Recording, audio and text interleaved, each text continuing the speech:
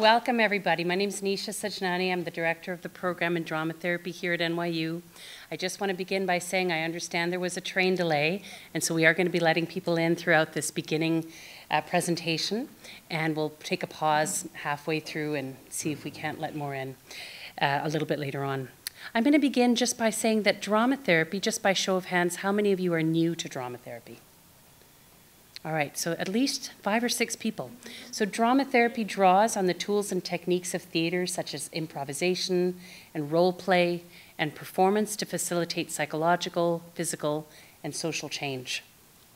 Theater is, after all, a reflection of life, as it was, as it is, as it could have been, as it could be. And whether you are on stage or in the role of witness, Theater involves transformation. This series is called Drama Therapy as Performance, and it involves live demonstrations of drama therapy for the purpose of examining how our current approaches are being used by drama therapists today and to push the boundaries of our field. We begin this series with role theory and method, a foundational approach in drama therapy articulated by the founder of the NYU program in drama therapy, Dr. Robert Landy. Tonight, you will see a demonstration of this approach as it is used in the context of supervision, where the use of improvised role play reveals the very essence of drama, which is empathy, the act of seeing through the eyes of another. Indeed, every encounter we have with each other is written on the body. It's best revealed through performance. To introduce this approach is a senior member of our faculty who has been teaching in the program for 25 years. She is a master teacher, Ms. Sara McMullian.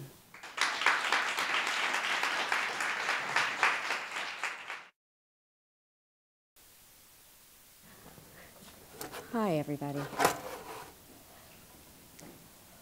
Role theory asserts life is dramatic. We are always in process. Treatment is not meant to be curative, and struggle is normal. Furthermore, role theory maintains that throughout our life, we are challenged to navigate our complex system of roles in search of expansion, flexibility, balance, and an overall sense of well being. Given that life is dramatic, it follows that people are role takers and role players. According to Robert Landy, in taking on a role, one is internalizing the qualities from watching and observing another. For example, the baby watching mother or father, and then internalizing the qualities of this role. To play out a role or to be a role player, one acts or behaves similarly to the role model, again, behaving as mother or father. It is in this interplay, this exchange, this back and forth of me and not me, where one works through and makes meaning of internal image and of internal images and the external behaviors of the role. As per Robert Landy's postmodern view, an individual is not one thing, but a multitude of roles that exist in relationship to their natural counterparts, a system of personality. Viewed through this lens, there is no self, but rather a multitude of selves that exist in relationship to their counterparts. Role, therefore, is a personality construct. Robert Landy's groundbreaking work the taxonomy of roles is a system of personality curated from Western theater, categorizing archetypal roles in six domains social, affective, somatic, cognitive, aesthetic, and spiritual. Each role is organized and further described by their qualities and unique characteristics, their specific function, and finally, they are organized and described by their styles as perhaps representational, more realistic, or presentational, more abstract. A key concept in role theory is that for every role, we have a counter role. Given the dynamic nature of the role system, all roles tend to seek out their natural counter roles. In a fluid system, a person is able to navigate and manage the paradox of the two roles. In the instance of a system that is less fluid, we find a level of dissonance that can result in excluding, denying, or repressing the counter role from the system. As such, Landy introduced the concept of a guide, a transitional figure serving as the bridge between role and counter role, offering a way of working through the dissonance and the possibility of balance with integration. Any role within the taxonomy can serve as role, counter role, or guide. In role theory, treatment is conceptualized as a hero journey, where the hero travels to a destination and along the way encounters and overcomes obstacles with the help of the guide figure. Often, the therapist serves as the external guide and collaborator, a supportive double, if you will, while the client searches for their own internal guide. Role method offers an eight step process that begins with invoking the role and guiding the client in a physical, embodied exploration where a role emerges organically. The role is named, concretized, and the client begins the process of working through and playing out, exploring qualities, how the role functions in everyday life, with the goal of integrating this into their role system. Building on Landy's work, I discovered role theory to be a rich foundation for training, encouraging curiosity and reflection, learning through enquiry, relational role constructs, and actively engaging in embodied explorations, a core process of drama therapy.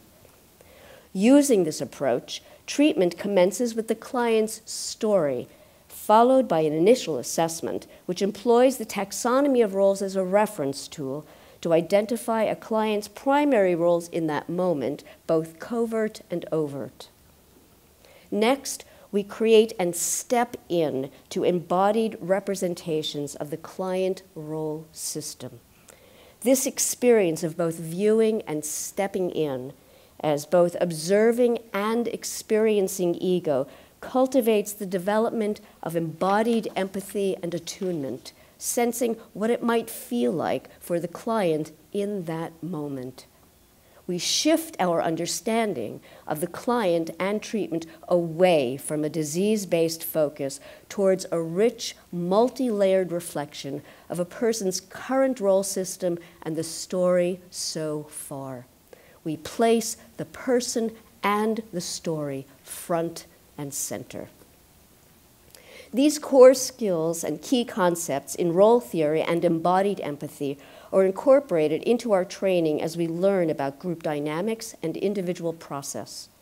It deepens our understanding of what it means to be in relationship, the both and of our work, with the intention of simultaneously bringing attention to the power base, privilege, and bias that is inherent in clinical work and instructs us in ethical practice. We work then to repair this rupture or schism by developing our ability to access embodied empathy in co created treatment. These fundamental concepts are similarly employed in embodied supervision, where story, role, relationship, and embodied empathy continue to inform and deepen our understanding of the work, fostering the development and the growth of a flexible, open, and curious therapist who explores and expands their own professional role system. It takes into account the triadic relationship between client, therapist, and supervisor. Role play in embodied supervision creates movement, results in new insights, increases empathy towards the client, serves to make the emotional experience relational, assists in differentiating between personal countertransference and induced countertransference or induced affect, and allows for embodied feedback where supervisors can play out the supervisee's therapist role. Embodiment in clinical supervision offers a we centric way of thinking and knowing. Tonight, we will view two approaches in embodied supervision that are informed by Robert Landy's role theory and the concept of embodied empathy. The RRAP, the Relational Roles Assessment Protocol, developed by Britton Williams, is a tool to help clinicians enhance empathy utilizing the framework of a relational role theory and method, exploring countertransference and identifying biases in the work.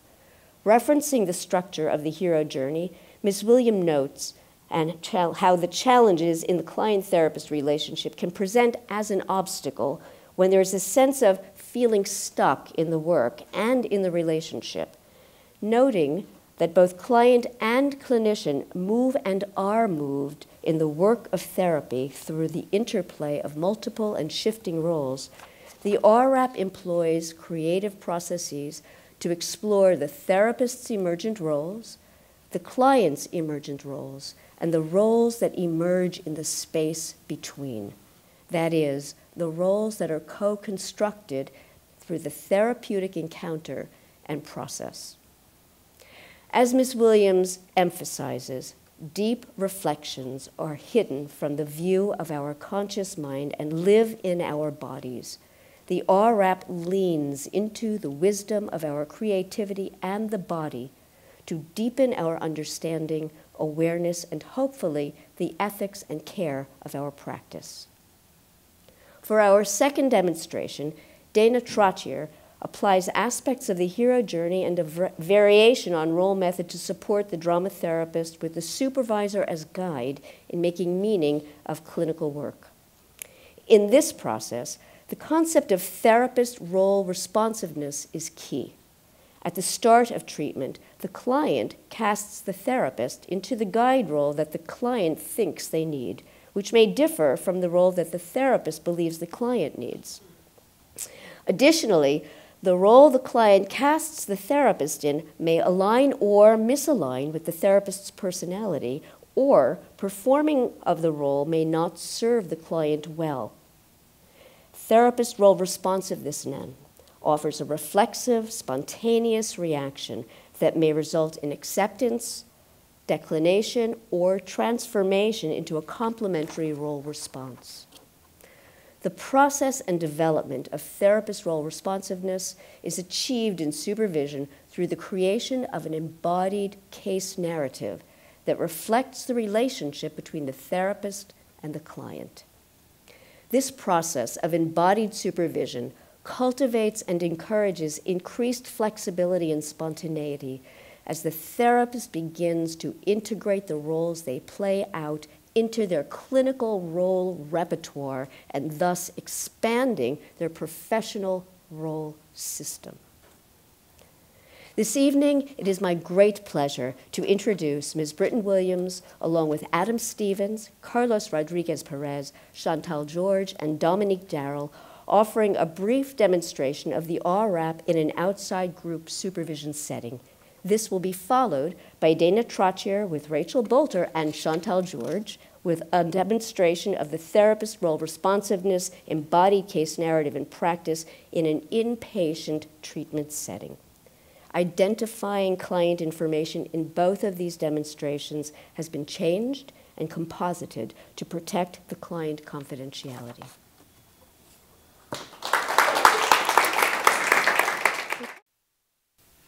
So, I thought that we could pick back up where we left off last week. We were doing some work around your client, JJB. And there was a lot that was coming up around some tensions, challenges emerging in the work. And so we discussed maybe moving that into the RRAP for some deeper exploration. So does that feel okay to pick up from there today? Sure. Okay. So as we prepare to move into that, can you all, just so that we can refamiliarize ourselves, also me, uh, just give me some of the key elements that you think are important to know about JJB and his treatment um, at this facility? Yeah. Um, what do we know about JB? He's 17 years old. He's a young black man. Um, he lives in a residential facility, and guess what? He doesn't want to be there. And he was forced to be there. Yeah. Uh, he's been abandoned by those who should, he should probably be able to trust the most. Um, I'm aware that he is short tempered and loud, and that he pushes people away. Well, he's been blu- bullied, so. He has been bullied. And also, I know that the people who are supposed to take care of him don't always treat him the right way. Mm-hmm, mm-hmm. Yeah. And something that's been really challenging for me is to hear how other staff talk negatively about JJB. They keep mm-hmm. they create this negative narrative mm. about him. Mm-hmm. So I'm I'm really challenged by that. Okay. Yeah, but also sometimes the system, they kind of lump people like JJB. Mm-hmm. You know, they make assumptions about him, they discard him. And it's not to say that JJB can't be, you know, reactive or aggressive, but I think it's, it could be also a reaction to how the system, his reaction to how the system is treating him, you know. But it's also difficult to show up to a space where at times we don't feel welcome by the person that is mm-hmm. there. Mm-hmm. Okay, so I'm hearing many things, right? We're talking about the way in which historically JJB, with people he's supposed to have been able to trust, mm-hmm. have not really shown up for him, right? And also, we're aware that the system and even people that are working with him, um, you know, do not always perhaps treat him the way that he should be treated, view him the way that he should be viewed. And also, it can be hard to situate across from someone who's pushing you away, mm-hmm. right? So there's a lot here. Last week, when we were working, I'd asked you all to consider what you thought was important to know about JJB. Um, and we put that on these post-its, right? And so some of what we've talked about just now, I think, is represented here. But just again, as we're continuing to rewarm up to this work, if there's something that was not named just now that you feel is important to speak into the room as we do this exploration, or it was named but you really feel like it should be amplified, can we just give voice to that now? Um, disorganized. Rude. Great style. Scary. Bullied. Abandoned. Too much. A few more, maybe? Provocative. Rejected. Black. Mm-hmm. So I want to deepen this a little bit, and I want to ask you, in your imagination, what would JJB say about himself? Hmm. How would JJB mm. define himself? Mm. And I want you to actually put that in your body the way that you imagine JJB might say that for him. Oh. Well, I'm the shit. Mm. No, no. I'm flossy. You don't know me. Mm-hmm. I got this. I got family. Mm-hmm. No, I don't have family. Mm-hmm. I'm scared. Anything else? Okay. So we're already starting to move him into the space, and I want us to continue this thread, right? Mm. Moving this into the RRAP. And I know we've talked about the RRAP before, but I'll just give a brief overview review, right? Mm-hmm. Um, so we want to deepen this into con- continuing to think about well, what are the roles that are coming up in the room, in the work with JJB, right? Mm-hmm. And so we're going to do this in multiple ways using the RRAP, which is one to think about what are the roles that are emerging for the client mm-hmm. in the room, right? And you're already doing that by bringing JJB into the space, right? And then you're going to think about, in relationship to that, though, what's coming up for you as the therapist mm-hmm. in the room. Mm-hmm. And then I want you to think about so then what's in that shared space in between. And in this shared space, that's the roles that are co created in the work, right? Which means that it is both informed and informs the encounter between therapist and client, right? Mm-hmm. We've been working with role for a bit, right? So I'm going to just give you hmm. some index cards here. And I really, the invitation is to allow yourself to think of the first roles that come to mind, okay? Mm-hmm. And we're working with a shared client, so we're going to use one RRAP, but you all will do your own individual roles. So I'm just going to give you some index cards here to work with, and we'll spend a little bit of time doing this, and then we will see, did I miss you? I'm sorry. That's all right. Then we'll see where we go, yeah? Okay. Thank you.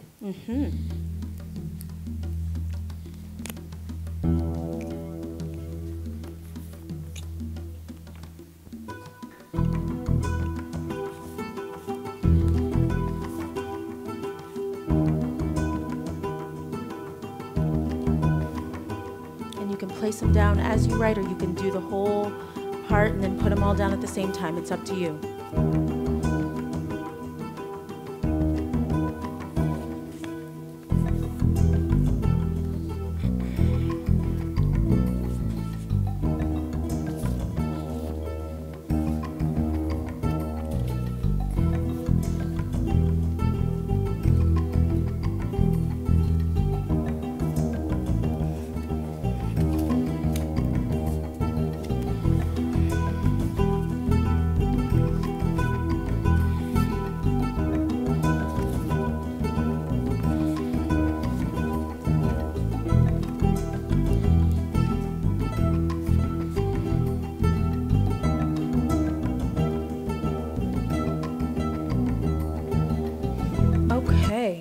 Let's take a look at what's here, and you can feel free to walk around, move around as you need.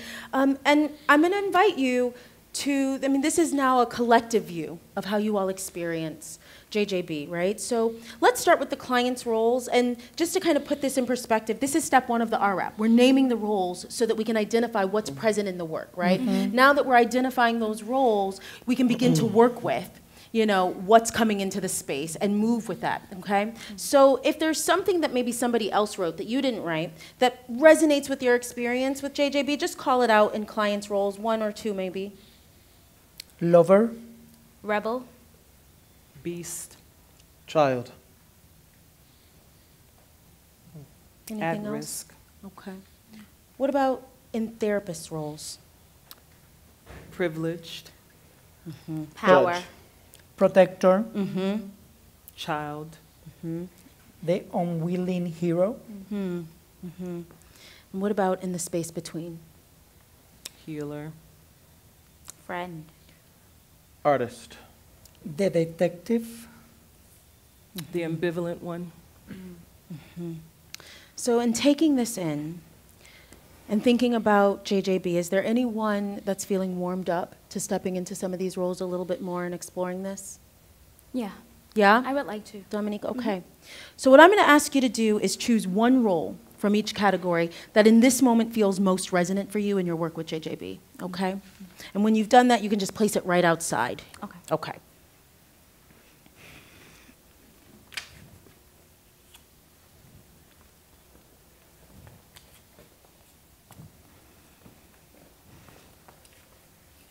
Okay. So in clients' roles, you have the villain. Yes. In the space in between, you have vulnerable one. Mm-hmm. And in the therapist roles, you have mother. Mm-hmm. Yeah? So we're going to move this to step two, which is to move these roles into dramatic action mm-hmm. so that you can begin to work in action with the interplay of the roles that need to be explored for you in the work with JJB, which are these ones that you've chosen here. And so to do that, I'm going to invite you to cast someone into each of these roles and to give them a stance that that role might take on and something that that role might say, whether sound, word, mm-hmm. um, phrase, right, mm-hmm. in the way that you imagine that role, okay? Mm-hmm. Who do you want to cast first? Chantal. Can you play the role of mother? yes, Okay. Thank you. and Dominique, show us the mother, oh, oh. okay? I just want to help you. Okay. And reverse roles, let's see that. I just want to help you. Yeah? Yeah. Okay. Who do you want to cast next? Carlos, may you play the villain? sure. Okay, show us the villain.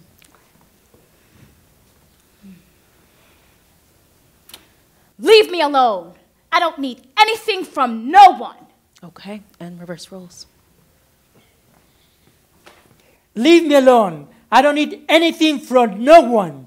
Yeah? Yeah. Okay. And do you want to invite Adam? vulnerable one. Okay. And show us the vulnerable one. I see you. Do you see me? Okay. And reverse roles.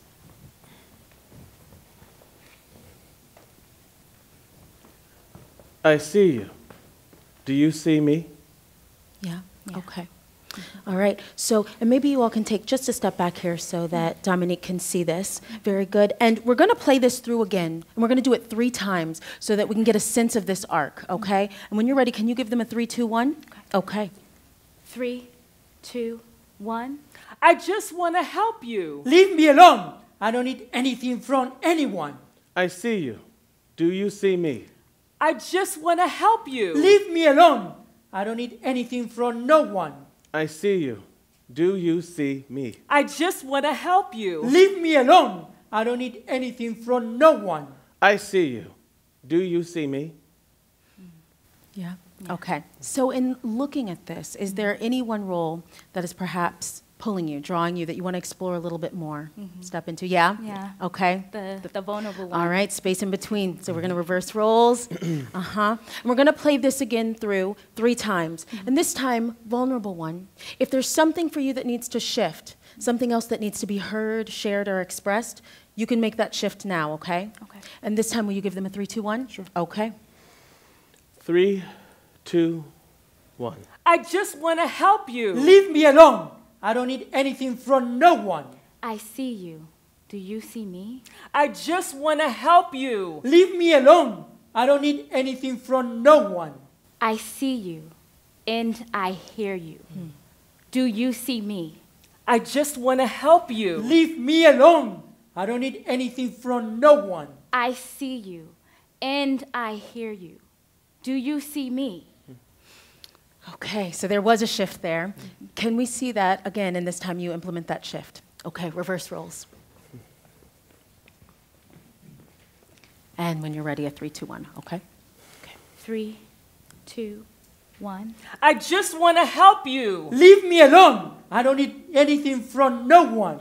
I see you, and I hear you. Do you see me? I just want to help you. Leave me alone. I don't need anything from no one. I see you, and I hear you. Do you see me? I just want to help you. Leave me alone. I don't need anything from no one. I see you, and I hear you. Do you see me? Mm-hmm. Okay. Hold this for just one moment. And Dominique, I'm going to invite you to come over here. And if from this place there's anything that you want to say to one part, or perhaps it's the whole of this sculpt, I'm going to invite you to do that now. Okay. If there's something that you want to share. Mm-hmm. Okay? To the vulnerable one, you are seen. Your words matter. You matter. Hold on to that.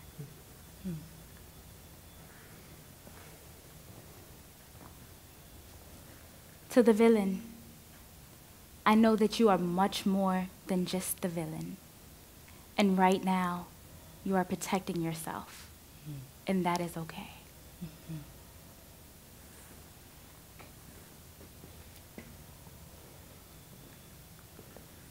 To the mother, you are more than enough. You don't have to try so hard. Sit and meet the villain where he is. Hmm. Reverse roles. Can you help me? So go back and let's do that again. Mm-hmm. Mm-hmm. To the mother, you are more than enough. You don't have to try so hard. Just meet the villain where he is. Mm-hmm. And reverse roles. To the mother, you are more than enough. Don't try so hard. Just meet the villain where he is. Mm-hmm.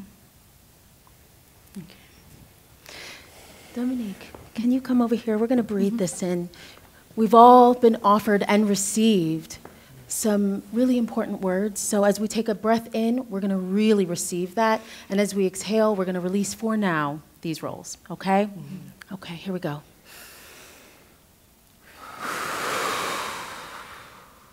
One more for good measure. Okay, and you all can take a step back just to give a bit of distance. And Dominique, from this space, are there any immediate thoughts as you think about this arc that you have um, from this experience? There are so many thoughts. you know, I wasn't expecting to feel so emotional. Mm-hmm. Yeah.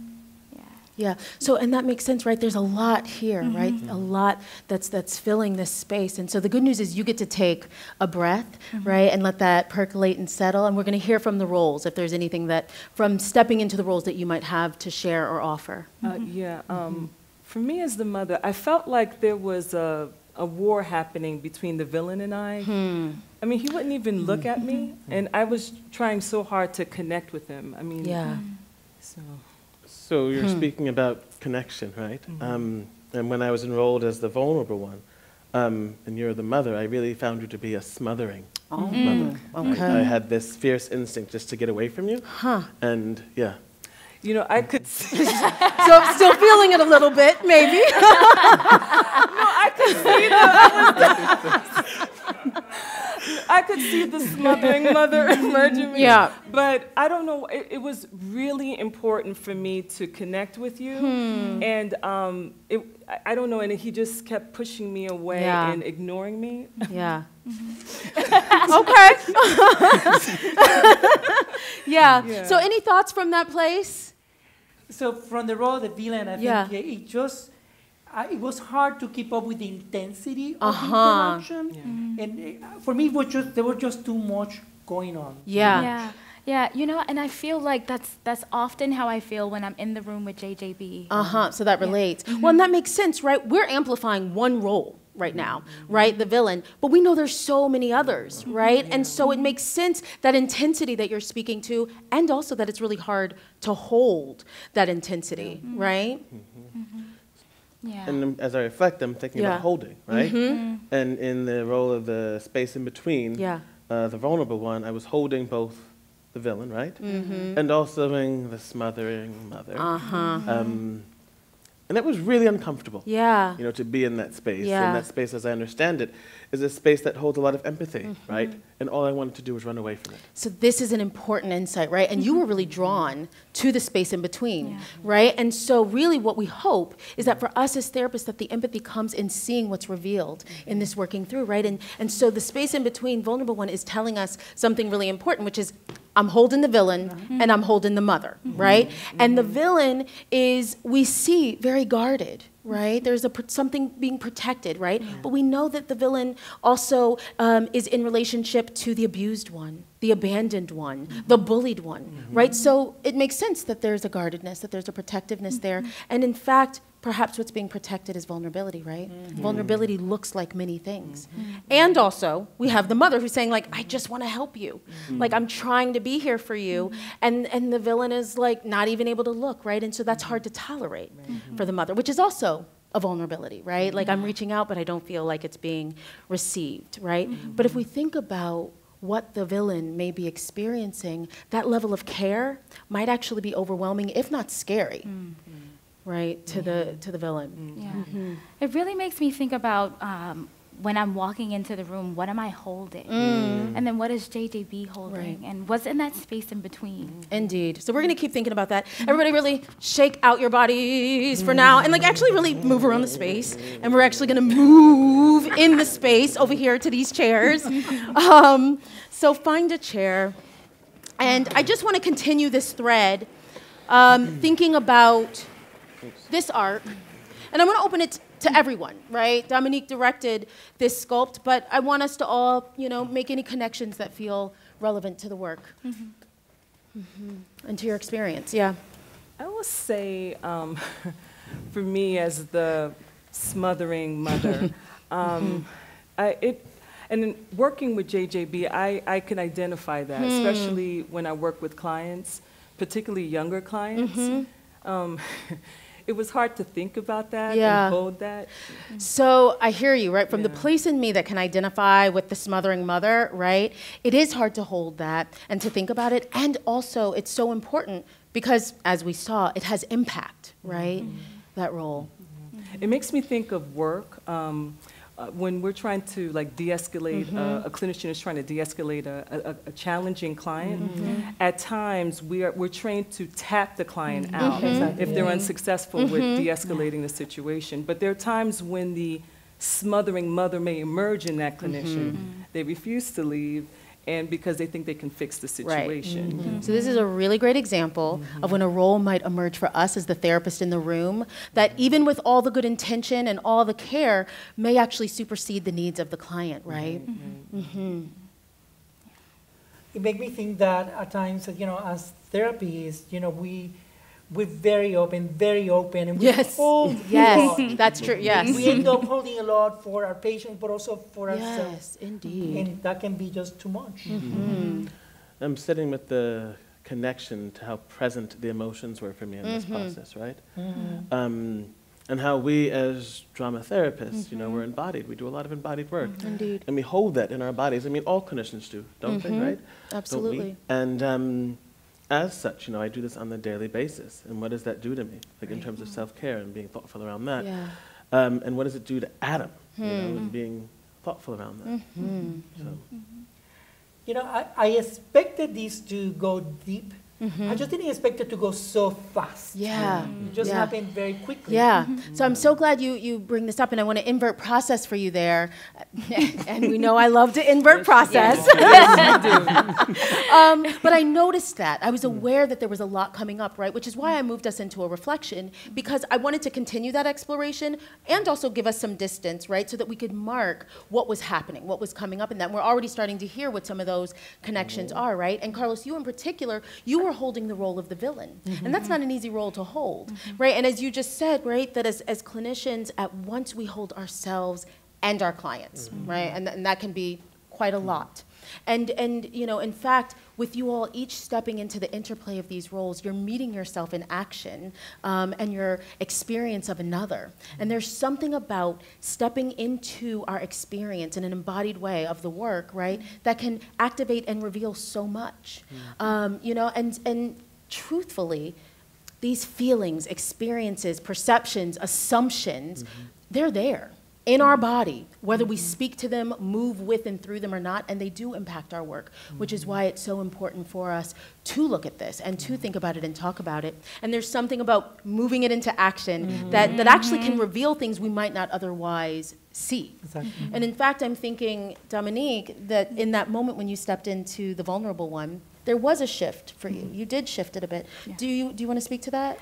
Absolutely. So, um, being in the role of the vulnerable one, it was it was kind of hard. Um, I felt invisible in that moment. I felt like I wasn't being heard. I wasn't being seen. And um, although mother wanted to help me in the role of the vulnerable one, I didn't feel helped. Right. And I felt like uh, it was almost as if I wanted to scream it out. So I that that was the reason for that shift. Yes. So it's so interesting, right? Because you really leaned in in that space in between to mm-hmm. perhaps what JJB as the villain mm-hmm. might be experiencing, right? But interestingly, that invisibility is also what we heard represented and mm-hmm. reflected from the role of the mother, right? This idea that I, I'm not even being looked at. I, I feel like I'm putting myself out there and I'm not being seen, right? So even in that, we're hearing a shared space in what both are expressing. I'm not feeling understood. I'm not feeling seen, um, and and that that piece that's so hard, right? Um, and that perhaps in that feeling that way, there's a missing of each other. Um, any other thoughts before we move? Um, I actually wasn't expecting this to be so deep. So um, for me, it was like a shock. Yeah. And I'm still holding so much emotion surrounding this. Um, but it's definitely going to impact the way that I encounter my work with JJB. But but not only with JJB, with other clients as well. And um, I just want to say thank you for stepping into this with me. Um, at the moment, I couldn't articulate what I was feeling, so Yeah. being able to sit back and hear the reflections Yes. was so valuable and important to me. So thank you for pulling me out so, so I could hear the reflections. Yeah. And you know, that really speaks to the RRAP, right, as a supervision tool for uh, drama therapists, or for our drama therapy toolbox. And, you know, we co-created uh, JJB um, from our own experiences, our own clients, our own practices, right? And then from that, we came up with this, and it's just so impactful and so informative in terms of the work that we do, um, whether it be at a hospital or at a school, wherever we were. Uh, so that's really neat. And something else that occurred to me, right?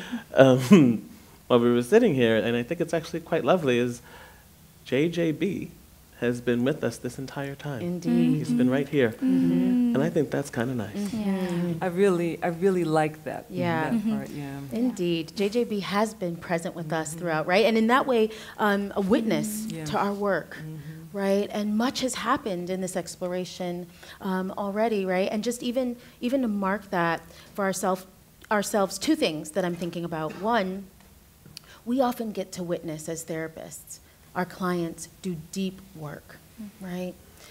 They don't get to witness us in deep process and work. And JJB held that space mm-hmm. for us today, mm-hmm. right? That space of working through what our experience of being in relationship to the other in this process, right? And so JJB was able to see that process of working through for you all. Um, and also that there's something to the fact that you all really stepped in to JJB, right? And, and in your experience of JJB, and in doing that, so much got revealed mm-hmm. in that exploration, right? Mm-hmm. Because what really happened in moving this into dramatic action, really you were tapping into and giving shape to internal relational experience. And in giving shape to that, right, that is inherently a feeling space that's being embodied, that internal relational experience. And so it makes sense what I'm hearing is that there's a lot of feeling, a lot still percolating. And I, so I want to give space to that hmm. so that we can really spend some time working with that. Um, so my thought is this that will take a bit of time, maybe 10, 15 minutes. and I would like to invite you all to, in thinking about how and where you hmm. held JJB in hmm. this process, in this arc thus far. What is the poem, the story, the journal entry, the song, whatever it is for you that needs to be shared, that needs to have voice right now? And you can move about the room wherever you want to go, and we'll take a good uh, amount of time, however much time you all need to do that. And then we'll come back and we'll see where we go. Yeah? Okay. Love is a Hawaiian tidal wave that smothers the beach sands on a moonlit Once night. upon a time, there was a young um, Empty man. words and expectations. Leave me alone. I don't need anything from anyone. There's a roller So after about 10 to 15 minutes, the group came back, and the therapists were invited to share their individual pieces. It was very clear that there were connections across what everyone had written. And so what we did was we took the verbatim text from each individual piece and we created a co-created piece. And in that working through, we actually developed a play. Mm-hmm. And we moved that play into dramatic action. And part of that process, which was, of course, informed from the embodied learnings from the earlier sculpt, there was an ability to take that process into a playing with and working through, a playing with and working through as they continued to work with this play. And in so doing, the therapists were able to find a way to hold contradictory narratives that were coming up in the work.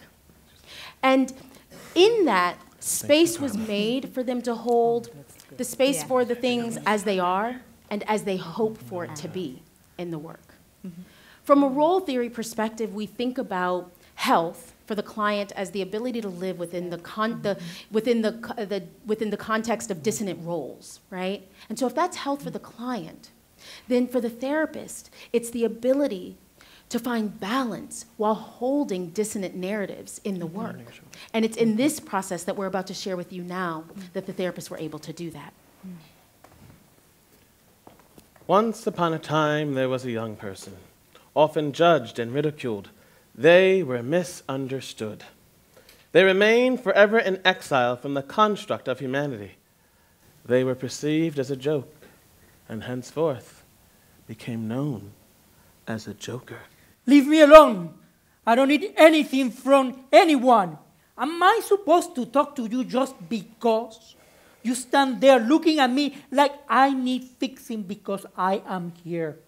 What can you give me? Everything has been taken away from me. I got nothing to give you. You don't know me.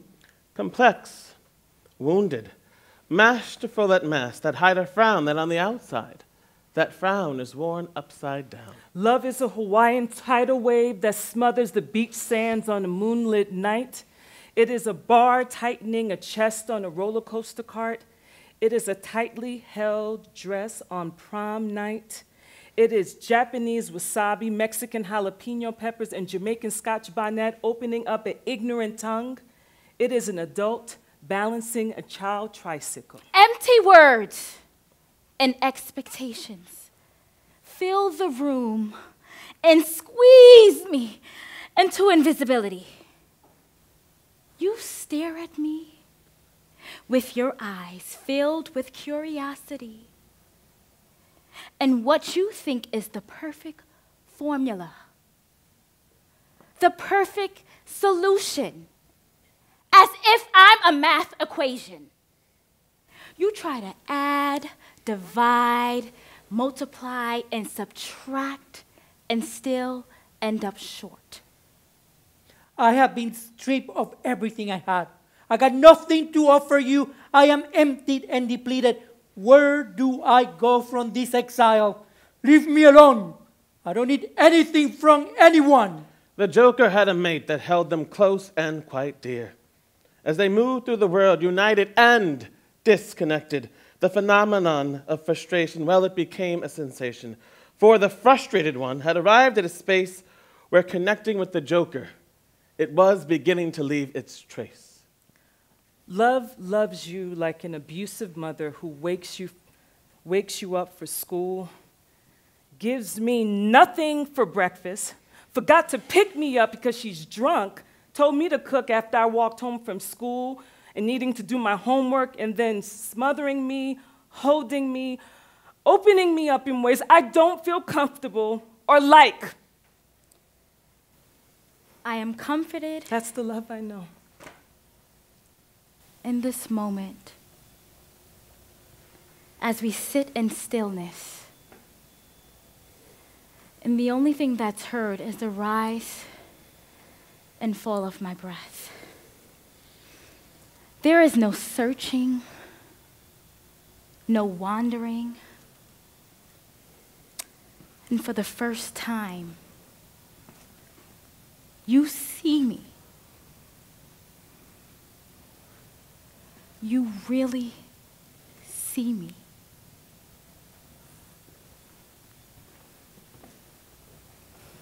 And I see you. And there is a mutual respect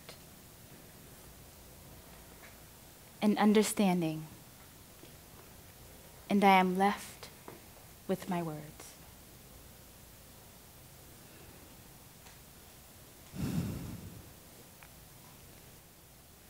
Wow. Let's really breathe that in, that beautiful and powerful work. Take a deep breath. And let's come back over here together. Really, I just have to reflect back that each time you all do this, the heartbeat of it shifts in a way that drops in a little bit deeper each time, and it's just beautiful to watch that arc. So I thought today that perhaps we could end where we began, and that's with JJB. So I'm going to move JJB here so that we can see JJB and JJB can see us. Mm-hmm. And you all have really, in this work together, taken JJB in. Mm-hmm. And so from that place of embodied knowing, embodied understanding, what do you want to say to JJB? What would you like for him to hear?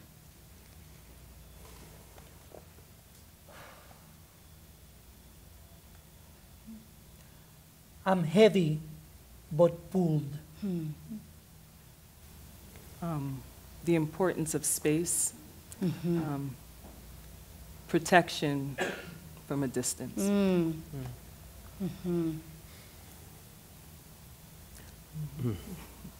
I see you. I see you because in many ways I used to be you. Thank you for the gift that you have given to me, to us. And thank you for, rem- for reminding me of all the multitude of layers and roles that you are. Indeed. So I have to ask what's being expressed? What's being shared here with JJB? Love. yeah. Love. Hmm. You know, there's um, a drama therapy article. Um, it's called Performance as Arts Based Research in mm. Drama Therapy Supervision. And one of the things it speaks to is the intimacy that happens mm. when we mm-hmm. step into the role, the experience of another mm. in that meeting space, right, which is intimate, which is close, right? Mm-hmm. Um, the article says that that's where we find the quote, royal road to mm-hmm. love. And that's the road that you all have traveled in this work. Um, and how powerful and important, especially when we think about what's been identified, right, which is that perhaps JJB, right now at least, can experience that, feel that intensity of love and care in the room, mm-hmm. so that it becomes ever more important that you all are able to express that here mm-hmm. in this space, so that that can have voice. Mm-hmm. What a journey we have journeyed together. right? And, uh, you know, I have to say, you know, Dominique, this all started from the sculpt that you brought into the space, right? And so I just want to ask you, as we're thinking about this work, this arc, this journey on the royal road to love, what travels with you? Um, so I continue to think about the space in between. That's something that I was drawn to from the beginning. Yeah. And it sits with me Mm-hmm. and thinking that we are not much different than JJB. Mm-hmm. And um, also to think about what challenged me in the beginning is what I really needed to explore. Oh, Yeah. So that's an important one, right? Especially for us as therapists, right? Oftentimes, that thing that we want to push away is the very thing we need to be bringing closer and looking at, right? Absolutely. Indeed. Well, it is time to wrap up. Um, but I just want to say to all of you all, what beautiful, powerful, deep work. I appreciate all that you all have brought to this individually and also collectively.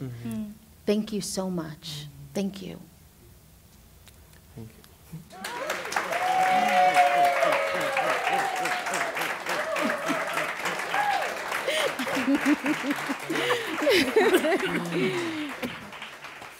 So, over the last few weeks, we've been working towards building our embodied case narratives. Um, and last week, we spent a bit of time working on the embodied case narrative of your client, Chantal, of Checkers.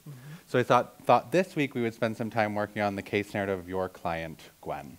All right? So, what we'll do is we'll start by having you bring Gwen into the space through a nonverbal case presentation, and then we'll give voice to her a little bit later. Chantal and I will sit over there and we'll witness, and we'll provide some reflections afterwards. Okay. All right, so why don't you go ahead and set up the space, and then we can get started and we can meet Gwen.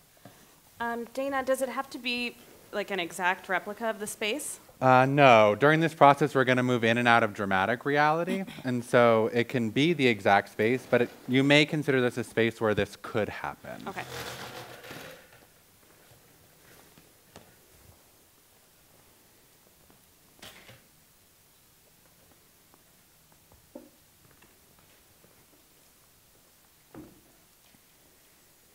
Does that feel good? The distance of the chairs? Yeah, it might shift, but I think for it's a good place to start. Okay, so before we begin and meet Gwen, I wonder if we can set an intention or ask a question. And this question is going to be the one that guides us through this process and keeps us on task. Uh, so when you think about Gwen and this relationship, what is it that you're curious and interested in finding? Yeah, I think I'm most curious about the fact that this relationship terminated like eight months ago and she's continued to really stay with me. I'm also thinking about the roles that I brought into the space in our relationship and also the roles that I believe I was cast into by her in our relationship. Okay, and if you were to listen deeper to yourself, is there another question? Yeah, I think I'm also thinking about um, the role my forming clinical identity had in this. So, you know, all that goes into that. Uh, am I doing it right? Was it good enough? Is it okay? Sure. Or- yeah. So I'm just going to share back with you what I'm hearing so I make sure I have it, and then also make sure we all understand where we're going. All right? So you have a curiosity around why this client continues to live with you despite having terminated eight months ago. You're curious about the roles you brought into the relationship and the roles that you were cast into. And on top of all of that is this question of your forming clinical identity. Mm-hmm. Who am I? Am I doing it mm-hmm. right? Yeah, is that like a lot for one? I mean, we'll find out. Yes? Well, you know, what we know to be true is that these questions will shift in form as you move in and out of role. Okay. All right? But for now, let's meet Gwen.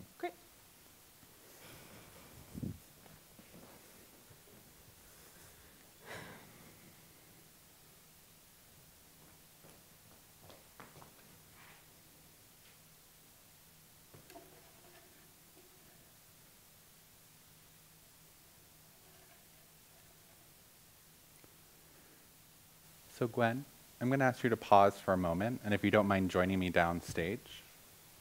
And Chantal, I'll ask that you come and join me up here to meet and mirror Gwen.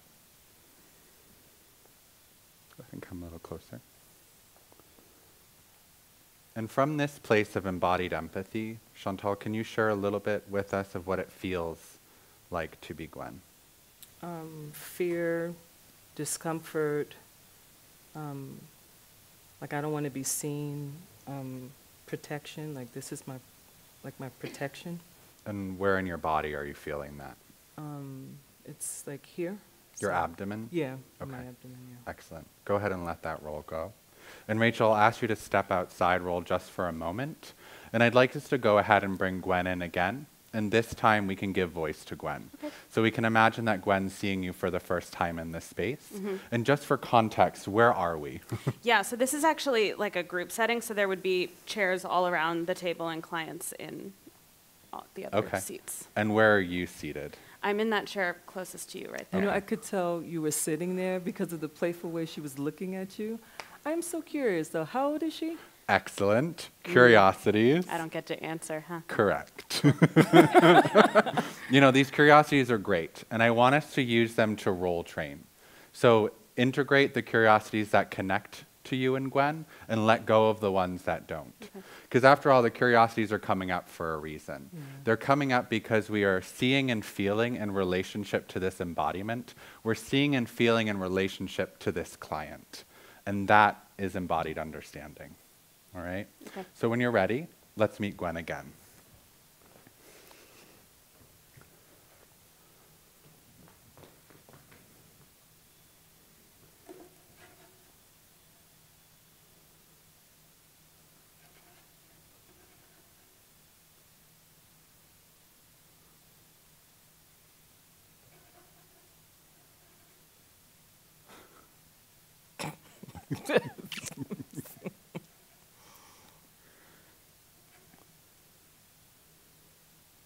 Here you go.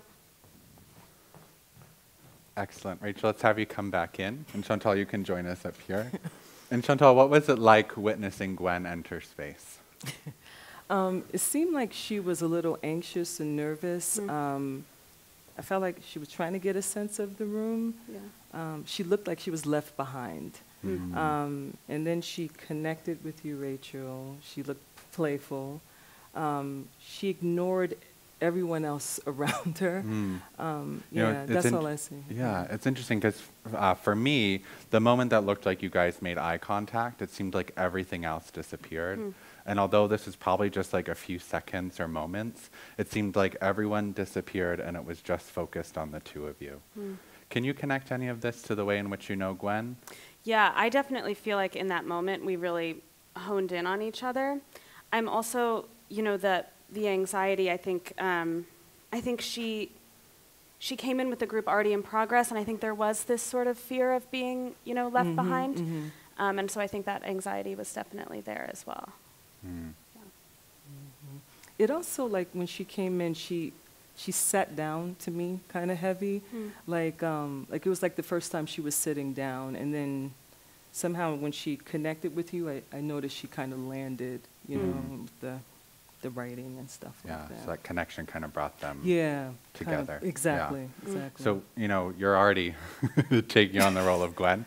So I'm wondering, Rachel, Yeah. would it be useful for you to see Chantal enter as Gwen? Yeah, Chantal, if you don't mind, that would be. I don't mind. You'll let me know if I'm not getting it right, like if I don't She do will. something right. Yeah, but Dana, on that, I'm just in our process before you've mentioned the difference between faithfully rendering versus not, and I'm aware that I've brought this person into space twice now, and I'm now inviting Chantal to do that based on what I've done, and so I was just hoping you could clarify the difference between faithfully rendering and, you know, not.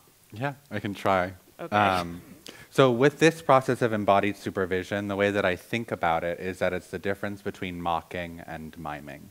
And mock in itself is a superficial imitation, whereas miming, we're setting this intention and bringing this individual in multiple times. We're not just accepting the first introduction, we're taking this time to inform and to role train. You know, in drama therapy, we talk a lot about empathy and the notion of empathy being the therapist stepping into the shoe of the client. Mm-hmm. In this embodied process, we're stepping in, tying the shoes, and walking around. It's We're living in this individual, right? We're moving them through our bodies. Mm-hmm. And with that, deepening our practice, deepening our ethics, Mm-hmm. it's kind of our responsibility that when these individuals live with us, that we move them through us. Mm-hmm. Yeah. Does that help a little bit? Yes. Okay. Thank you. So let's go ahead and we'll see you, Chantal, bring in Rachel's version of Gwen.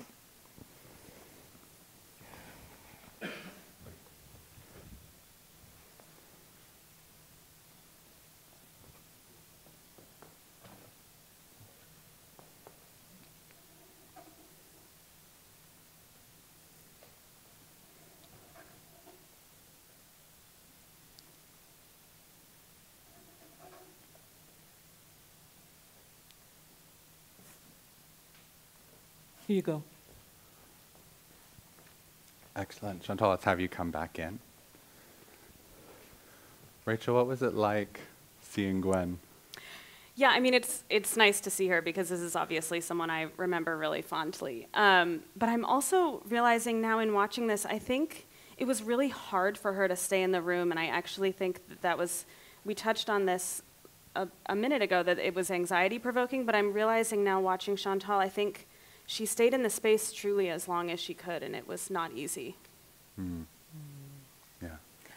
Um, I felt like for me, it was, um, as Gwen, it was hard to hold this position. Um, it, I just felt like tightness, you know, again in this area, and I felt very insecure. I didn't want to be seen. Um, I didn't feel pretty. Mhm. Yeah. As Gwen, I didn't feel pretty. Um, I also felt very disconnected from the space in the beginning, and I wasn't sure what was going on. Um, I don't feel pretty. Um, and then I, I felt like more connected when I, s- when I saw you and when we connected. You know. Is that connected all to the way you know Gwen? Yeah, I mean, it all does, but especially the stuff around the beauty. Um, a lot of our conversation centered around beauty and aesthetics. You know, something as light as when I get out of here, we should go get our hair dyed together, or as serious as, you know, my sister's beautiful and I'm not, and so her life was like this and mine was like this. And just a lot around the importance of beauty and her perceived absence of it in her own mm-hmm. experience was mm-hmm. really significant. Yeah, you know, it would be lost on me if I didn't mention that when you entered Chantal, you chose a different chair. Yeah. Right? You sat closer. Yeah. And I'm thinking about when we were reflecting mm-hmm. earlier about this desire, that moment Yeah. where everybody else disappeared and you mm. moved closer together. Mm-hmm. And that felt like a really beautiful, spontaneous Yeah. moment that I was not anticipating, mm-hmm. right? And so it's beautiful to see that, mm-hmm. right? And so I'm wondering, Rachel, if it would be useful for you to mm-hmm. share a little bit more information about Gwen, Sure. because I know that you've got some curiosity. Well, I do, of course, you, you know, selfishly, I want to know how old she is. Yeah. It's particularly because of how she felt when I was holding her in my, in my body, her Yeah. Yeah. posture. So the age is actually really interesting because before I met her, I clocked her as being maybe in her 60s. Um, and then when I met her, I found out she's actually in her late 40s. She is a white, heterosexual, cisgendered woman. Um, she it lives with her mother, but it's not really a great situation. She's never felt entirely safe there. It can be kind of tumultuous. She's a total hopeless romantic, like fairy tale stuff, really wants a prince to swoop in and like take her out of that. She longs to be in the role of mother herself. Um, she's so funny. I mean, just like so, so funny. She's an, really an artist. She's a great singer.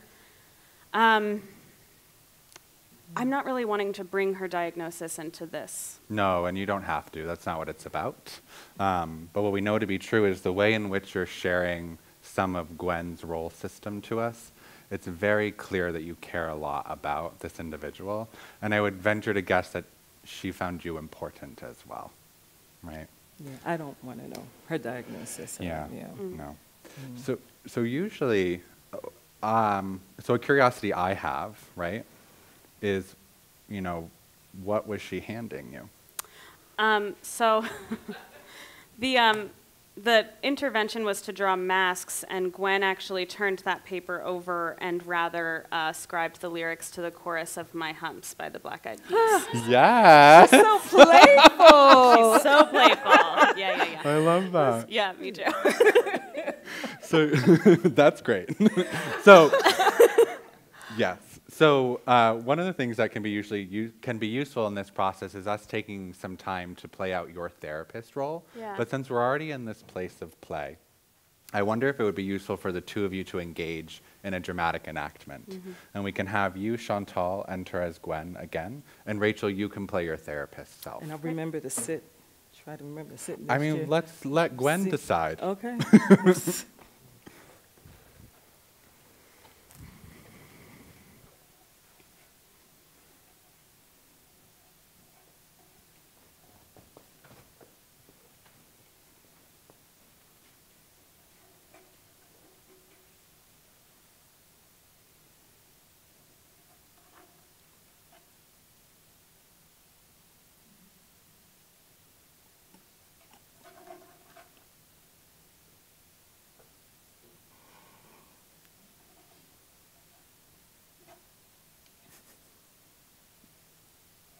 Here we go.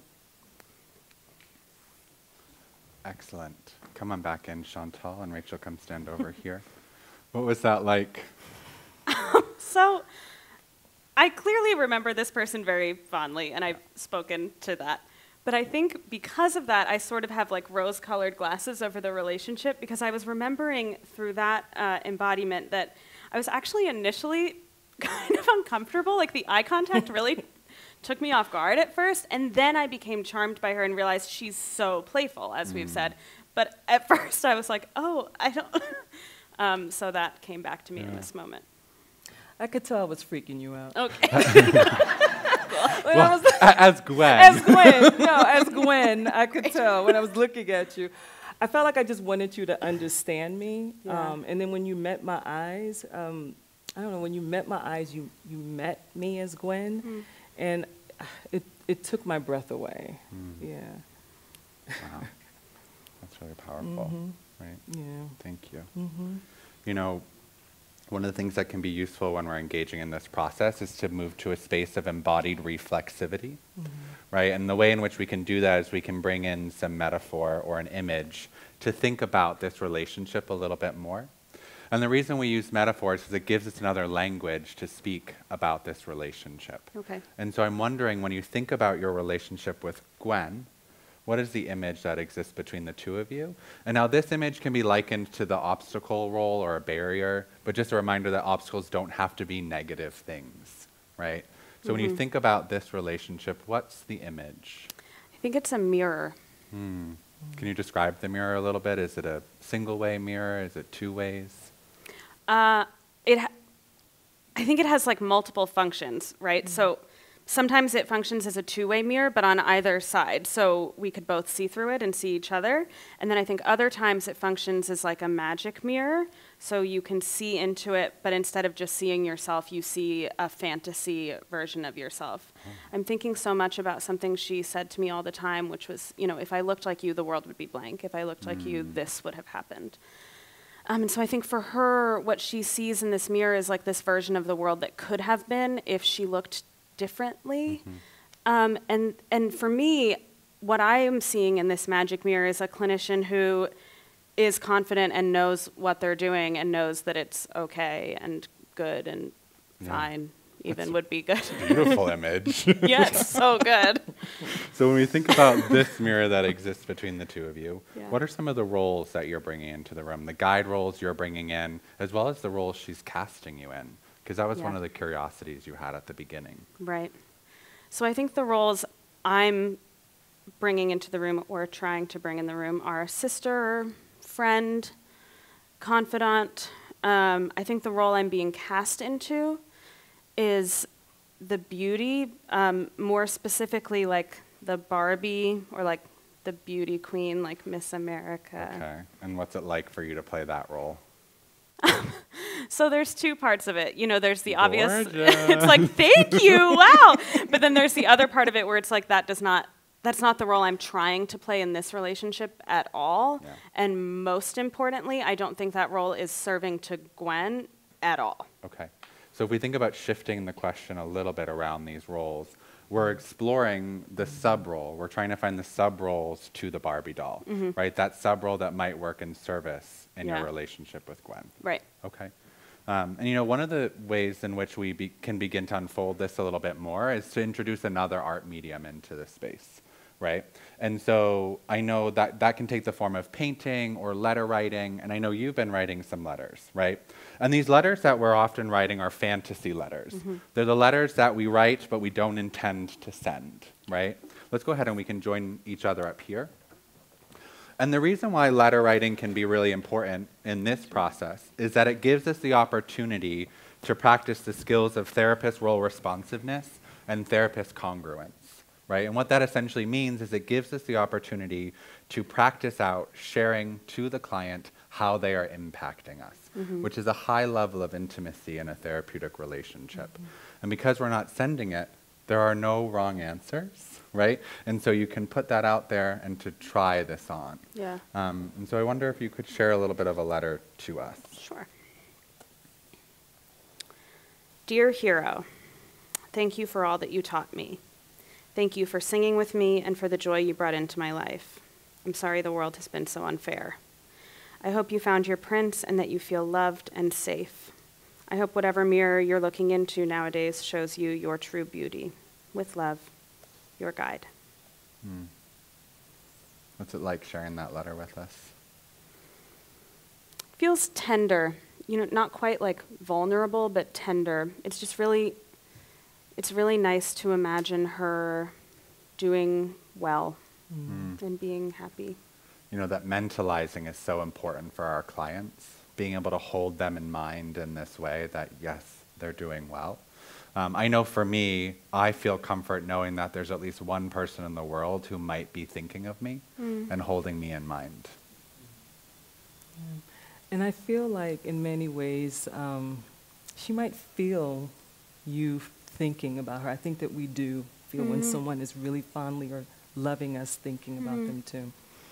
And what was it uh, like for you, Chantal, hearing about the letter? Well, for me, well, f- for me, it, it, uh, I would say that when you were in training, when um, you met Gwen, right? Mm-hmm. Um, and I felt you could see that she taught you a lot then, and she's still, she's like she's still teaching you Yeah. right now. Yeah. These are the gifts that continue, Yeah, right, it's as we continue beautiful. to unpack Mhm. and learn about who we are as clinicians, which is ultimately the journey you're on. yeah Right. And part of the reason we're doing all of this is because it's to build towards our embodied case narrative. Um, Twyla Tharp, a prolific choreographer and dancer, um, before creating any performance piece, engages in a process that she calls scratching, where she gathers up images and quotes and music and artifacts, and she sits with all of these objects, and from these objects, she creates. And that's a little bit of what we're doing in this process. We're using the clinical case history that we have. We're using our embodiments, our letter writing, our art processing, the relationships that we're forming here. All of this to inform this embodied case narrative, which is essentially a performance of the therapeutic relationship, right, from multiple levels of knowing. Um, and so I know that you've been working on one, and I know that they can take on the form of a performance or a music or a dance. And I know you two have been collaborating on forming this one of Gwen. And I wonder if you could share a little bit of that with us this evening. sure Excellent. I can take your book. oh thank you mm-hmm.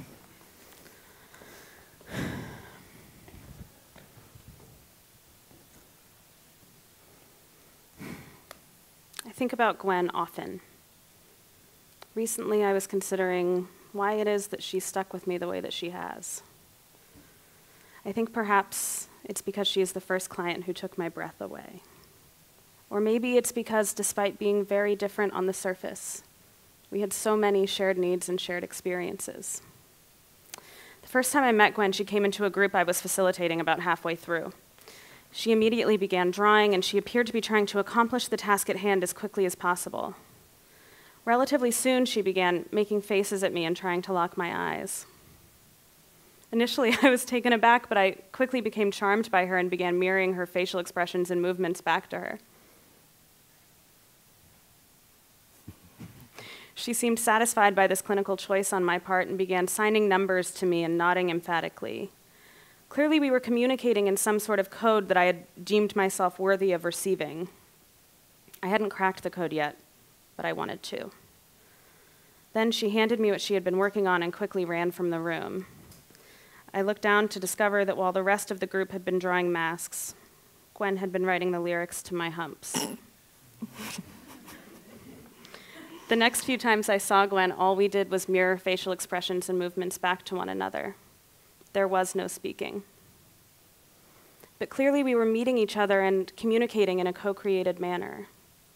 I think back now on this tricky mirror that seemed to form between us. This mirror that Gwen so desperately wanted to see herself in. A different version of herself that she wanted me to see her in as well. This mirror that I, a new clinician, wanted badly to discover my clinical identity in. We both wanted to be seen by one another and to find ourselves as a result. Sometimes this mirror would allow us to see ourselves, or rather, an idealized fantasy version of ourselves. But other times we could see through it and really see and witness each other. The first time Gwen spoke to me, she told me about this building with a magical room inside of it, and when you went into it, you could transform into anything you wanted. I asked her what would happen if I went into it, and she said, You can be anything you want to be. I asked her what would happen if she went into it, or rather, if she'd ever been, and she said, It wouldn't work for me and my mother, but it would work for you and, or my sister.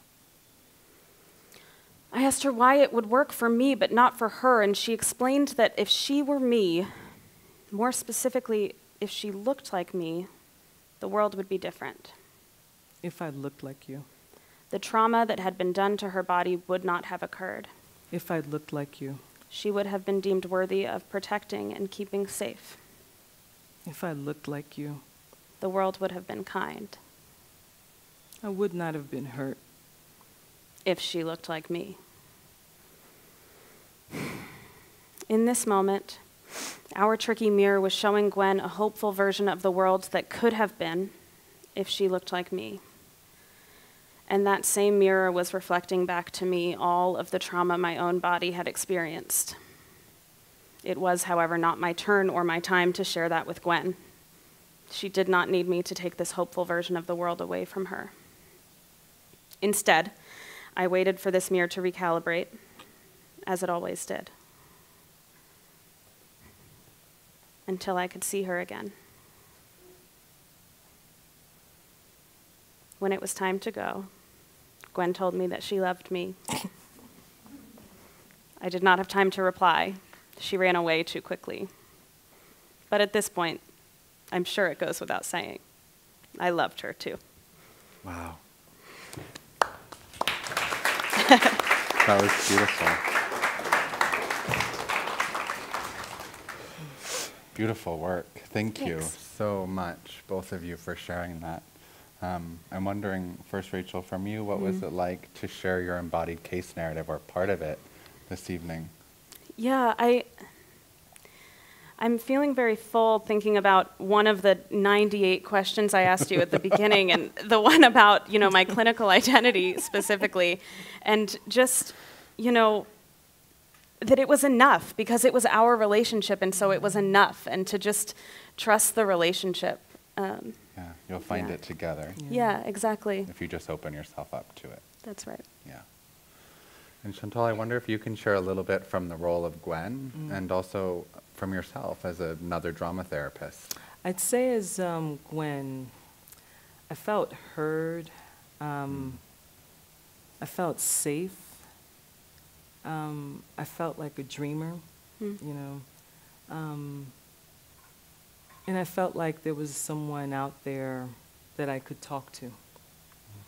I think as a the therapist, a drama therapist, um, it was so beautiful to see another therapist taking care of a client in such a way, Hmm. being able to allow themselves to feel, um, to even love, Hmm. um, and just to hold. Yeah. We're sometimes so hesitant to use the L word, Yeah. right, when it comes to the clients, to our Mhm. clients, to these Mhm. individuals in our care who clearly take up space in our lives in these beautiful ways. Mhm. But yes, love is here, and it has been on this stage the whole evening, Mhm. right? And so I'm curious, since part of why we do this is it's to develop our clinical role repertoire, Yeah. right? So thinking about the roles we can integrate from this experience and place into our Mhm. clinical role system. So I'm wondering, Rachel and Chantal, for you both, what might be a role you're, you're going to integrate, or how might this inform your clinical practice? And Chantal, I'll ask you to start with that. Um, I think what's coming up more for me is the role of like the container, um, holding all of her experiences and holding her body Mm. uh, gave me so much information. And I think, I wouldn't say sifter, but something about being able to just read all of, and you know, and feel all of what I've been Mm. feeling, to sift all that. But I, I feel the role of container mostly. I love this image of the sifter, Yeah. right? Um, or like a filter in some capacity. Because ultimately, that's what we're aiming for in relationship, right? Is I want to take it into my body, sift through it, filter it a little bit, and hand back some manageable dose, Mm. right? Being able to take it in, because we can't hold it all. We talk a lot about containing, but it, we cannot just hold. We're Mhm. not dumpsters, we're not Mhm. receptacles. Mhm. We need to take it in, figure out what we need from it. It's like wine tasting, Mm. right? Get the flavors on your tongue and then spit it out, Right. right? Ah, good. what about for you? I what are the um, roles coming up for you? In um, in thinking about leaning into and on and just really trusting the relationship, um, I think I'm coming away with the role of the listener, Mm. and just remembering that if you are really listening, the answer is always there because it's it's co-created. You know, Mm. it's it's together. Yeah, So if you're able to hear it, you know, you'll have the answer. right. And it, it's a different form of listening. It's not listening to react or respond, it's listening to understand. And it's not just listening to the words that are coming from the client, but the way in which they're impacting and we're feeling them in our bodies, right? To be able to hold that whole image of the individual across from us and the relationship that's forming. Thank you both so very much. This is beautiful work, and I'm inspired by this. Um, and I look forward to continuing this process. Um, thank you.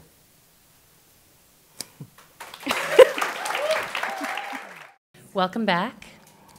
So we're going to start just by introducing ourselves uh, and our role, and welcome to speak to any role that you're that you carry with you in life, um, just to bring us into into this space together. So again, I'm Nisha Sajnani, director of the program in drama therapy. Hi, I'm Sara McMullian. Oh, I've two got, mics. it's this, I've got so many mics. Uh, yeah, uh, you go, what's in your own mic? I am a So, mic I'm- holder. I'm Sara McMullian, I'm on the faculty of um, NYU Drama Therapy Program, and I was a presenter. Indeed. Uh, I'm Britton. I'm also a faculty in the program in drama therapy, and I was the facilitator for the RRAP. Hey, good evening. My name's Adam Stevens, and I was a process actor in the RRAP presentation tonight. I'm Carlos Rodriguez, and uh, also an actor at the RRAP. Mm-hmm. I'm Dominique Darrell, also an actor in the RRAP. Mm-hmm. I'm Dana. I'm also a faculty member and a drama therapist, part of the embodied case narrative. Uh, I'm Rachel Boelter, and I was an actor in the embodied case narrative. Mm-hmm. I'm Chantal Georges, and I'm a drama therapist, as you mentioned. Which you were, you were the lead of the play. Sure, Chantal. Yes, you are. Hi, I'm Idalmis Garcia. I'm a first uh, year student of drama therapy. Nice. And my name is Alessia Hughes, and I'm a second year student in the drama therapy program. All right, and because we felt that rising up in the audience, can we give them all a great big round of applause?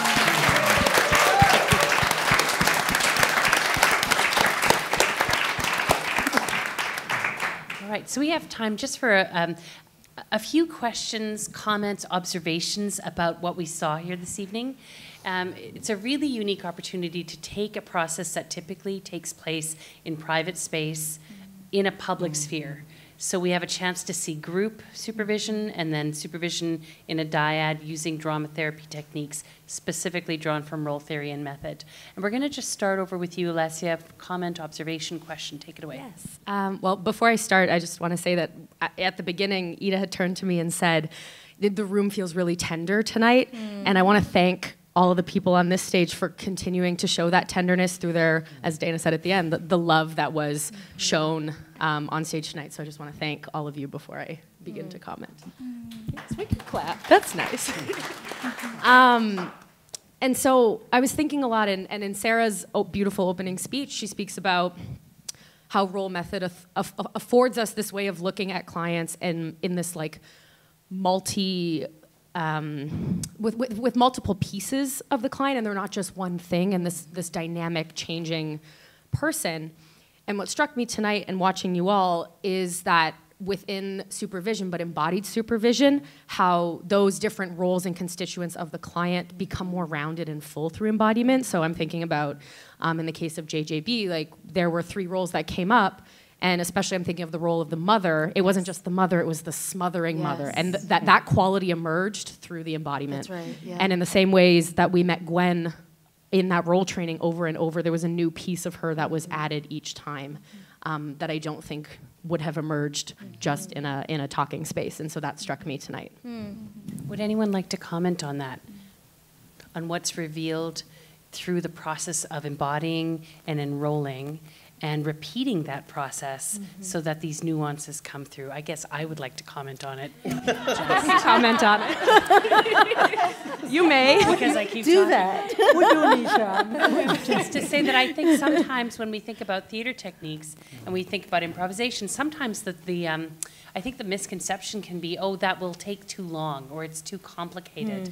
Um, and what is reaffirmed for me in watching you this evening is actually how quickly Yeah. um, all that remains with us is Yes. revealed when you just give it a space. Well, so so how does she live with you? This person who you're with, who you're in relationship with, who you are um, working to care for. You know, Ha- what is revealed if you just give that some space? And we saw clearly mm-hmm. just how much is revealed. Mm-hmm. You know. Yeah, well, and I think a, a lot of the, indiv- the supervisees that have worked with me, I prefer that they show me than tell me. Mm-hmm. So when they start to talk about a case in my office, I ask them to actually enter mm-hmm. and land in the room mm-hmm. as the individual we're going to speak about. Um, because it just gives me so much more information. Um, and it also, it, it puts me into the room that I actually can't be in when they're delivering care. And so it allows me to get an understanding of how they're taking these individuals in and how they're meeting them. Mm-hmm. So. I also just want to, oh, I'm sorry. No, go. I just want to pick up on what you said, Alessia, that in fact it is in the embodied space where things get revealed, right? And you're exactly right. The smothering mother was absolutely revealed in the action of the work. And that becomes important because we can use our words to hide the very things that we don't want to see. Um, where when we move into an embodied space, when we bring something into action, it's a lot harder to hide those things because what actually what we saw happen was it was it was in the space. It was in the space, and our bodies know these things, but our words can hide them, where the body can't. And because we do this work in action with our clients, it becomes actually very important that we do this uh, work in action with ourselves, right? Because, you know, as we talked to in our process, these things actually do come out in the interaction with patients, whether we speak to it, move with it and through it or not. And so you're, I just wanted to amplify that piece that you said because it is so important. Yeah, and just kind of to uh, talk on, on that direction, we had talked about this before, that we, we've worked so hard to, um, to see people, the clients, as we're getting to know them. Yeah. And then we walk in as therapists and we hold these very clinical path- pathology-based mm-hmm. roles. Mm. And we always say, be your authentic self, be your mm-hmm. authentic self. Well, what does that actually mean? Mm-hmm. Um, and so we need to now do our own role training so that when we walk into the room, we are really building that authentic self using all these multiple ways of learning how it feels and what it looks like, and not just to mm-hmm. use this uh, language that can really distance us mm-hmm. from the work and put us back into what I call a very pathology based and defended stance. Mm-hmm. Yeah. Authentic self and authentic partnership, Yeah. relationship.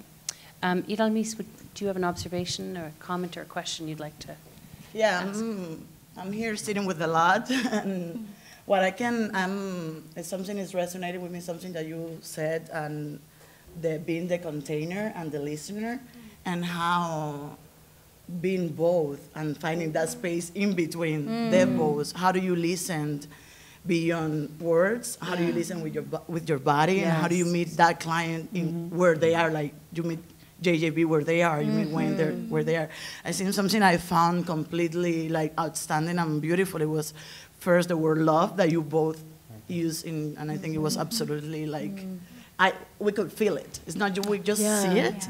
We just feel it. It's real, mm-hmm. right? And the empathy that you build for real with that uh, other individual, just meeting them. You didn't. You, you were in training, but you were like just listening and mirroring, and being mm. open and being really empathetic beyond words. I know, like, I'm, I'm a first, only first year, year student. I'm only my second semester, and I've been listening to a lot of words, right? And hmm. a lot of words, and we're doing a lot of embodiment. But the real thing is when you get to the actual word, if you don't really listen with your body and your heart open, hmm. like nothing happens, right? Or you can make a difference. So, hmm. how do you step out of the actual verbalizing and theori- the theoretical part of the mm-hmm. work into really meeting the person where they are and just be humble? That, mm-hmm. that, that mirror where um, I see you mm-hmm. and you see me and we meet in the space where there is no power we're, we're two humans communicating and trying to create a difference Yeah. in this work and going from there. Would anyone like to comment on, on actually what do you do today to stay humble, to stay present with these uh, wonderful uh, observations and questions that Idalmis has brought into the space? I like this idea of being humbled. Yeah. The fact that this is an, an ongoing discovery. Eh, and, you know, as, when we meet these, you know, these people that, that we serve, eh, realizing that, you know, that we, what separates us is not that much of a gap. Mm-hmm. And, and having that sense of humility and how uh, a privilege we are mm-hmm. in relation to, to, to that experience. Yeah. Mm-hmm. So I really appreciate that. Yeah. I would also say, I mean, it's a therapeutic relationship. Relationship, which means that there are two people in encounter with each other. And, you know, we talk about sitting with, um, and sitting with is not disembodied at all. Like everything lands on the body, in the body, with the body. And so I think, you know, that, that humility sits with, in the space when we allow ourselves to open in the action of the work, right, in this embodied uh, way of working ourselves to what is happening. Because these things, whether we brought them into the space or not, they were already happening, right? And I think the humility comes when we allow ourselves to recognize that I am in relationship with someone, someone that impacts my life right like it's it's we don't just walk into a room and walk out unaffected um, you know one of my dearest colleagues says actually that people that we work with they move in they live with us and they travel with us and i think that's so true and so to serve the relationship and find the humility to say we are in process together is so important I'm going to open up the same question up to the audience. Um, would anyone like to share an observation, comment, a question? I'm going to pass this microphone this way. Thank you, Maria. And if you wouldn't mind introducing yourself as you speak, that would be terrific. If you're My name is Robert Landy. I'm the uh, role theory person. Uh, a role theory person, not the role theory person. I gotta, I gotta speak. I'm, I'm, I'm, I'm dying to speak. Um, and I need to defend words. I desperately need to defend words. Yes, drama therapy is unique as it, it is an embodied process, as the dramatic experience in some ways transcends words. However, number two in the role theory, uh, role method process is called naming the role. Shakespeare says, a rose by any other name would smell as sweet. If you called a rose cat piss, it would not smell as sweet. I guarantee you. The words are very, very important. I heard the word love Yes. 25 times. Mm. And when it w- every time it was uttered, it was uttered with great meaning. Yeah. Not every time with the same meaning, Yeah. but every time with some meaning. When I heard the word mirror, it opened me up. Um, I, I was able to see through both sides. Uh, images can be expressed in movement, in sound, in drawing, and so forth. And images, I think, most deeply, in my knowledge of the universe of psychotherapy, are most profoundly expressed when they are given the word. In the beginning was the word. The word is, um, is as essential to me from my, my point of view as a, you know, a person who has stayed in this whole notion of role and story. It's as essential to me as a physical expression. That's not to say that they're separate, but to say, as, as we often do as drama therapists, that a wor- words are less than an embodied experience, to me, no longer makes any sense. Um, so I needed to say that. Mm-hmm. And I heard, and the final thing I want to say is that the presentation tonight was so smart. Mm-hmm. And one of the reasons, in my, in, in my opinion, why it was so smart is that there were so many words attached to what you mm-hmm. did, and so many ideas behind those words, stemming from Sara's beautiful introduction. So I applaud not only your bodies, but also your words.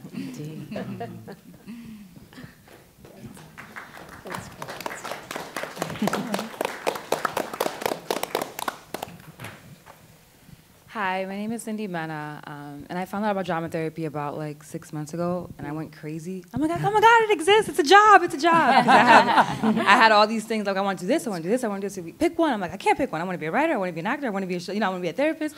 Pick one. And then I saw this, and I was just like, life changing. So I'm going through like my own moment. I'm just like taking this all in, and I see that a lot of you guys have like a very big. I hope I don't cry.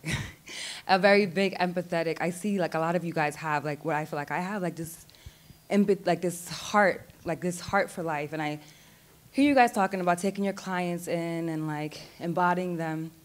And I know that that could be a lot sometimes. It's like so much sensory and like you take things like I feel everything very deeply, so it's like easy to do these things. And I find like, how do you guys taking all that in? How, what, what is your process like to clean out like mm-hmm.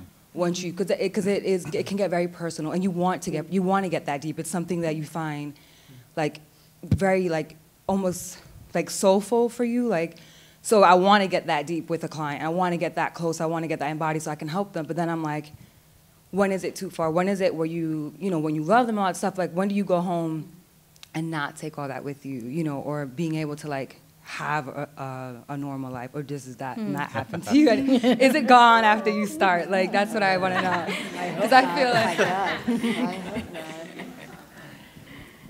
i don't know if you guys want to answer that but I, It's a great Anybody question. yeah. start? I, I mean, I can answer uh, part of it. Um, I think the this idea of um, I would not engage in this process about every client, right? I, I don't have the capacity and my body couldn't take that. But there are certain clients within our care that will impact us in some way. And it's those individuals that sit a little bit differently or are coming home with us at night. Those are the ones that I would probably take extra care and engage in a process like this. Um, the, the embodied case narrative process you saw this evening also has a self-supervision version as well, and it's something that I do for myself. Um, and so I can answer that, and I think it goes back to the humility question. Um, I, I, I, can't do this for everybody, um, and I, uh, I try my best to show up in the same way for everybody, but I, I actually don't know if that's wholly possible. Um, and I have to trust and train my body to be prepared to do that. Um, and to also acknowledge when, like, I, I, actually can't bring everything that I usually bring into a session that day. Um, and being able to name that, naming the role, mm-hmm. right, is useful for me. Mm-hmm. So that's just a little yeah. bit. I just want to quickly say, but I'm also curious if other people have thoughts, that I actually think sometimes this process is that process, mm-hmm. um, that in fact, in moving with something, it allows it to move through. Um, and so that sometimes the process that you're talking about of like, this is sitting with me, how, what can I do with this, is to actually move through it. Um, and also, uh, speaking of naming, it's why I say at the end, I have to ask what's being said. I mean, what we've done is an actual, I mean, it's a verbatim of our process. And there was a moment when they were sitting and talking to J- JB, I actually said, I have to ask what's being expressed so that it could be given name. Because actually, sometimes when something is sitting within and we're like wrestling with it and we feel it and it's there, but it doesn't have name, it can't be grounded. And as Dana spoke to, the L word is actually something that we don't often speak to in this work, but I think that we need to mm. because I've, I've noticed both with my students, but also I will name in my own process of becoming a therapist that love is something that sits in a very unsettling way because it's not talked about a lot. And so it's why in our process when when this was happening I said I have to ask because I really did have to ask so mm. that what was in the space could be given name. Because then we can say, "Oh, as Sara would say, and there it is. and that's the work.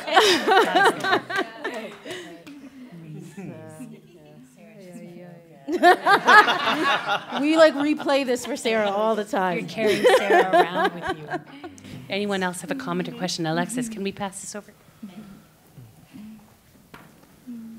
Thank you, everyone, for the work you showed us tonight.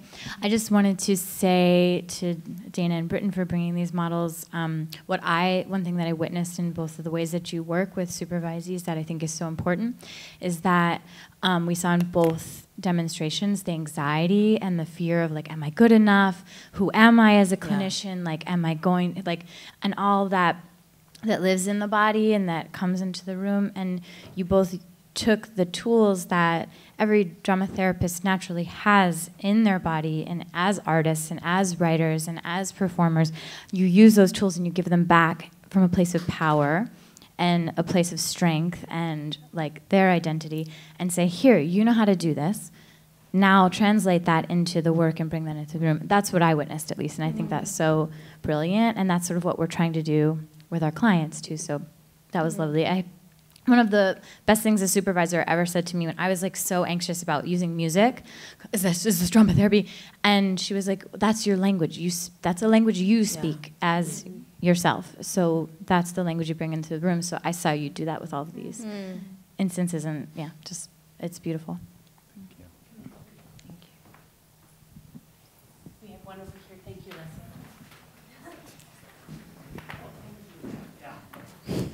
Hello. Uh, Dana, you mentioned this just a second ago, but I was curious about um, both of these methodologies, right, being utilized um, and modulating between self-supervision and group supervision, and how they shift and change between the 2 mm-hmm. how they shift and change. Both of these processes exist in a way that they can be done independently. Mm-hmm. Um, I think the caveat I would add to the self-supervision part for the embodied case narrative is that you need a witness. So ultimately, when you are engaging in this type of process, I think we want to make sure that some, somebody is witnessing the experience. Um, because you do need that mirror that we've been talking a lot about. Um, I think some of the concrete things that are different, there's less people in the room when you do it. Um, and so within that, I know for me, I can get stuck because I'm with all of my thoughts, all of the different roles that are sitting in my head. And so I actually have to be pretty diligent about how I'm dividing my time when I'm doing that. Um, and that compartmentalization is useful for me. And that can take a variety of forms. Like if I'm, if I'm just sitting with one metaphor, I'm gonna just like live with that metaphor for a moment. And for me, it's usually with art, with painting, and usually with my hands, because that just feels viscerally right. I don't know if that answers your question, but um, that's some of the things I'm sitting with. Yeah, it's a great que, oh, sorry. With the RRAP, um, similarly, I mean, there's a lot more, um, written response and usually a prompt for creative writing, which I actually do consider an embodied process because it takes the body, um, on a journey. And so, um, there's a lot with, you know, the written word, which is, is a way to kind of think about, so what we saw put in space would be done on paper. And I, if I'm doing this in my self-supervision, am writing from some of the roles, perhaps a story, uh, bringing several of the roles. Perhaps I'm writing a poem, perhaps I'm writing something, but again, a way to use the creative process um, to then see, well, what is here, so that it can be given um, more understanding um, names. So that's probably the biggest difference, is that here, we move it right into um, the action, whereas in a self-supervision, it's, it's much more in the creative processing. And I'm happy you said that because I think in self-supervision, you have to have some level of process. Yeah. And the way that it's outlined for an embodied case narrative is it follows the hero's journey. So it starts with the therapist using things like a role sort to begin to understand who they are in relationship to this individual. And so it's using some of the tools we would use in the clinical Mhm. space, in the treatment space, and using them on yourself, um, always holding in mind this image of the other. Mhm. Um, and so it follows that, like, step one is, you know, who's, the, who are the heroes on this journey? And then what are the obstacles, and who's the guide, and where are we going? Um, and it's more systematized. I think I'm going to bring this portion to a close, and I just want to say, I know we're, we're in a time right now where there's, um, well, gosh, you could complete that sentence in so many ways. There's so much happening. What I want to draw attention to is the, mm. the increased interest in creativity and the arts and mental health. Mm-hmm. And we have this extraordinary panelists, panelists, panel of drama therapists and drama therapists in training, and you've given us so many different examples of the ways in which we can bring more of ourselves into an exploration of what it means to care with and for one another uh, in different contexts in schools and in inpatient uh, settings uh, and in supervision within a, a clinical training program. So thank you so much for your work this evening, for sharing that here with us on this stage, and thank you all for your comments and questions.